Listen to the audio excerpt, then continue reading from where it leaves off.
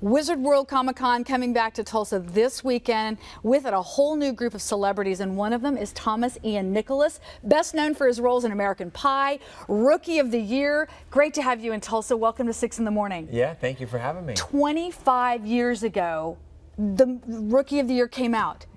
Yeah. What did the, that do? And I mean, because you'd been in a lot of other things before then, but that was kind of the thing that set you on this big path. Yeah, I mean, I started acting when I was six. My first job was on Who's the Boss, playing a young Tony Danza. Totally see it. Uh, but yes, Rookie of the Year was my first feature film in theaters, and it was obviously uh, successful. But who would have thought 25 years later people would be showing it to their kids? I had people still on Instagram, Twitter this morning saying, "Oh, I show that to my little ones every day." Isn't that crazy? I just showed it to my son. My son is six. My daughter's two. But my they, so they just saw it like As a few months ago. and you're like, how old in the movie? I was 12. So Th- That was, and you are a Cubs fan. I just let me get all this yes. stuff out of the way. Yes. Let's well, how talk- could you not film on Wrigley Field for an entire month and, and not be fall in love with fan? it. Yeah. Exactly. Uh, American Pie. That was probably the next big. uh, That was a, an experience, I'm sure. Yes, that's when Henry Rowengartner grew up, uh, and then uh, that is the 20th anniversary next year. Wow. Comic Con. You've done several of these around the country. Yeah. And you bring your band. Uh, I do. I, well, I, I basically I play acoustic.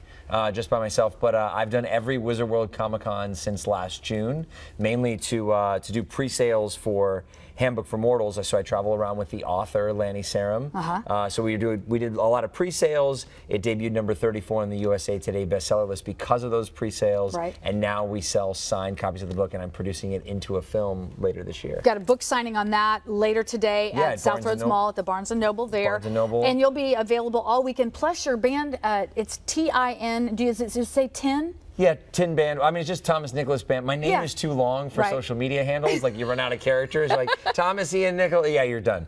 Uh, so I just had to. I had to go with the acronym. But yeah, I'm playing at the Shrine on Friday night. Yeah. Um, How would you describe fun. your music? It's rock. So if you like Foo Fighters, then Yeah. you would definitely dig what we do.